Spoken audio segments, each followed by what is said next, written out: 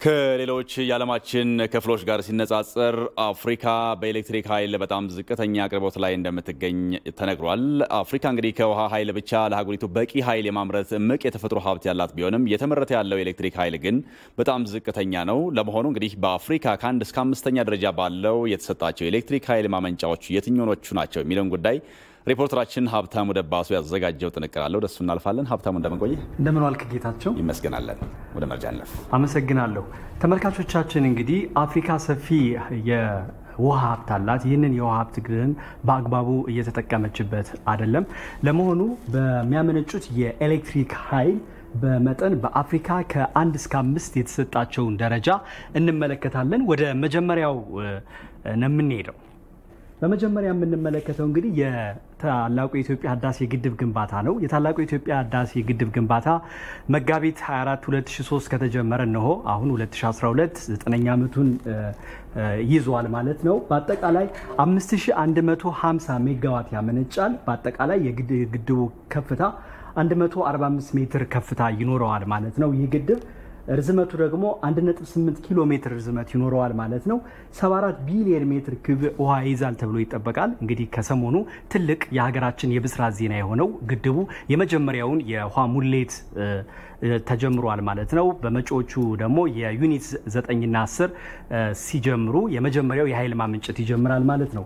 ሌላው በሁለተኛ ደረጃ የምንመለከተው በአፍሪካ የካሴ አርክ ግድብ ነው። በሌሴቶ አካባቢ የሚገኝ ነው። ማሊ በማታሶ የሚባል ወንዝ ላይ ነው ይህ ግድብ ተገንብቶ ወደ ስራ ላይ የዋለው ማለት ነው።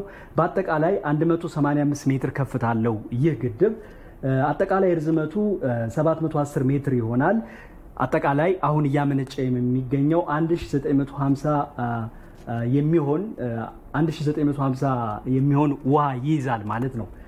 በአጠቃላይ ይህ ግድብ እንግዲህ የተለያዩ አገልግሎቶች እየዋለን የሚገኘው የግብፅ የአስዋን ግድብን እንመለከታለን። እንግዲህ የገማል አብድልናስር መሪ ሆነው ወደ ግብፅ ከመጡ በኋላ እንደ አውሮፓውያን አቆጣጠር ከ1960ዎቹ ጀምሮ ግንባታው ተከናውኖ በተለይ ብዙ አገልግሎቶች እየሰጠ የሚገኘው በመሪያቸው ስም የናስር ሐይቅን ፈጥሯል። የናስር ሐይቅ በገማል አብድልናስር ስም የተሰየመ ነው። አጠቃላይ 3870 ሜትር ርዝመት አለው። ወደ 111 ሜትር ከፍታ ይኖረዋል ማለት ነው። የሚያመነጨው 2100 የሚሆን ሜጋዋት ያመነጫል።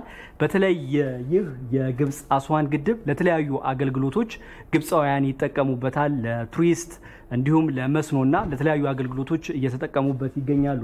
በሶስተኛ ደረጃ በአራተኛ ደረጃ የምንመለከተው የካሆራ ባስ ግድብ ነው።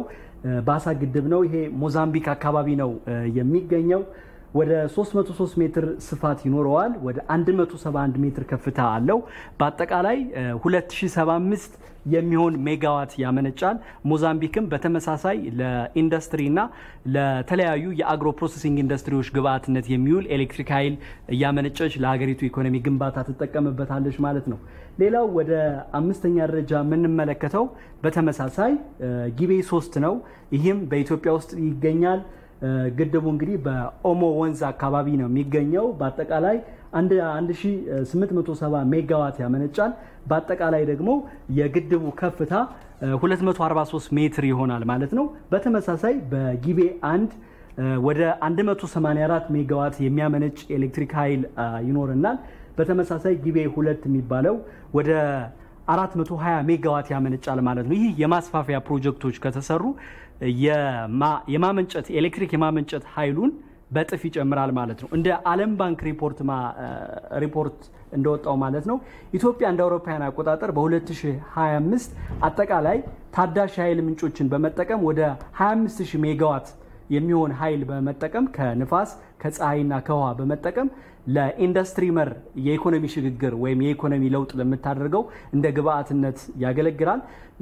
በብዙዎች ኢትዮጵያውያን ልብ ውስጥ የለው የታላቁ የኢትዮጵያ ህዳሴ ግድብ ግንባታ ደግሞ አጠቃላይ ግድቡ ግንባታ ሲጠናቀቅ ደግሞ የሚኖረው ለኢኮኖሚው ግንባታ የሚያደርገው አስተዋጽኦ ከፍተኛ መሆኑን ነው የምንመለከተው። መልካም ኢትዮጵያ በታላቁ ህዳሴ ግድብ በመጀመሪያ ደረጃ ሌሴቶ፣ ግብጽ፣ ሞዛምቢክ እና በመጨረሻም ኢትዮጵያ ከአንድ እስከ አምስተኛ ባለ ደረጃ አንደኛና አምስተኛ ደረጃ ላይ እንገኛለን ማለት ነው። አዎ በነገራችን ላይ ተከዜ ካሉት ዝርዝሮች ዘጠነኛው ደረጃ ላይ ይገኛል ማለት ነው እና መንግስት ባደረገው ትኩረት በኤሌክትሪክ ኃይል ግንባታ ሰፊ ትኩረት አድርገን እየሰራን ነው። የአፍሪካ ቀንድን ወይም የምስራቅ አፍሪካን የኤሌክትሪክ አቅርቦት የመሸፈን አቅም እንዳለ ነው መረጃዎች የሚያሳዩት። ጌታ መልካም ሀብታሙ፣ ለመረጃ ከልብ አመሰግናለሁ። አመሰግናለሁ።